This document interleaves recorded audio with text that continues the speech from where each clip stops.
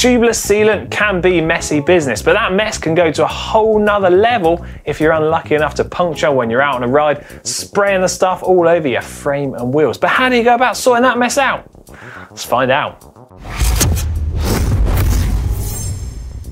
Tubeless sealants are designed to fix punctures quickly and effectively. However, the downside of that is if we get it onto our wheels and onto the paintwork of our frame, it dries pretty quickly too. So the first step you need to do to remove it is try and wash that off with some water. Now, when you're out on the roadside, that's pretty easy. You just take some water from your water bottle and rinse it off as best as you can.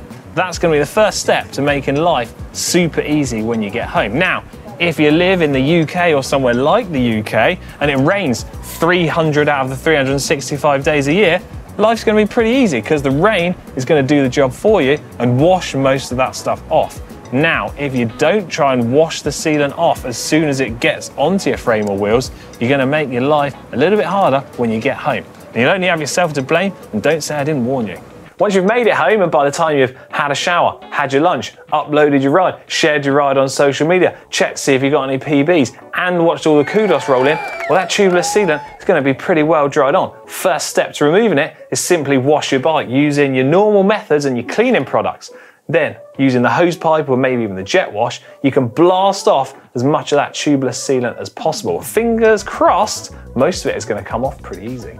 At this point, you can take your microfiber cloth and simply dry off and rub any remaining sealant that's left. But when you're doing this, you do need to be careful because if any grit and dirt has got into the sealant and dried into it as well, well, you're going to scratch the hell out of either your wheels or your frame, and nobody wants that. So apply a bit of caution. If that's worked for you, happy days. Head inside, make yourself a coffee in your favourite GCN mug available at shop.global cycling network, put your feet up and chill. It's job done for you.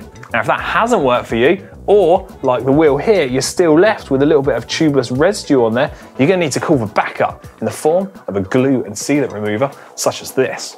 There's loads of different types out there, but the benefit of using one like this, which is designed for use on bikes, is that it should be safe and suitable for the types of finishes and the materials used in our bikes.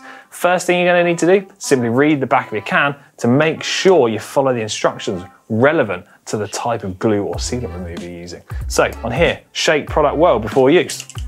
Job done. Spray onto the rim area to be cleaned. Leave the product to act for 5 to 10 minutes to take effect. Rub or agitate with a microfiber cloth.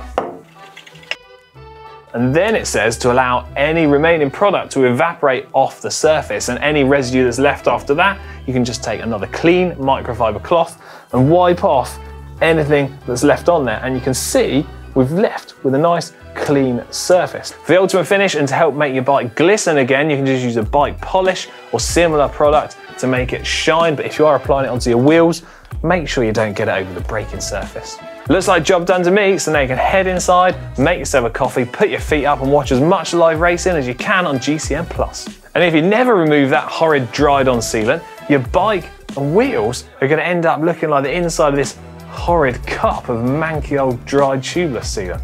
Ugh. Hope you found this video interesting and helpful. If you have, click that like and thumbs up button. And if you have any tips of your own, get them in the comments section down below. And I can't wait to see how many people put, yeah, tip number one, don't use tubeless tires. I mean, those comments never get old. Anyway, if you did enjoy this video, give it a thumbs up and make sure to subscribe because it really helps to support the channel. See you later.